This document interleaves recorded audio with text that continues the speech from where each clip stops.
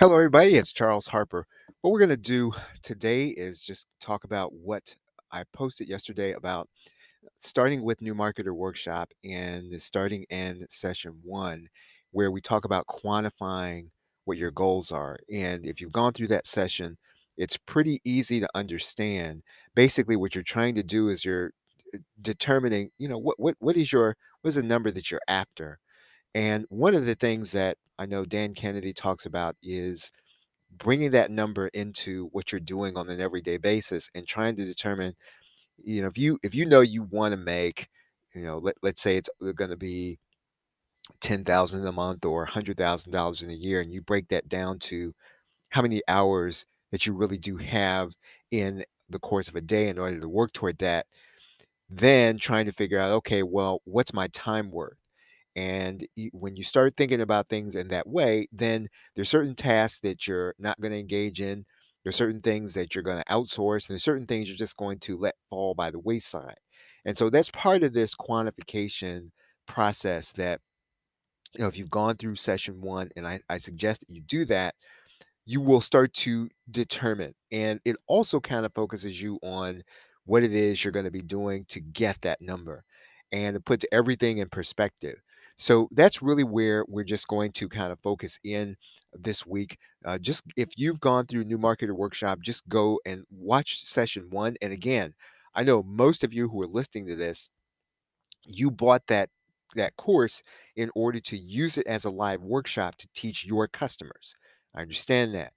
But I suggest that the way that you're going to sell this best is that you go through it for yourself, you actually do the steps, and then you make any changes based on what you want to do. Now, one of the things I say to people often when it comes to, especially our live PLR, is you don't have to agree with me about the direction that that goes. There are 52 lessons that basically will get a person to build their own brand. And you can then take that and you can say, Well, I don't necessarily agree with this. Here's what I think you should be doing. You could say that to your customers. But if you go through this process, it will force you to determine, well, what do you believe? What do you want to do? You know, who are you going to be, you know, in the marketplace? So, session one, if you go back through there, you'll notice that this is about quantifying what your numbers are.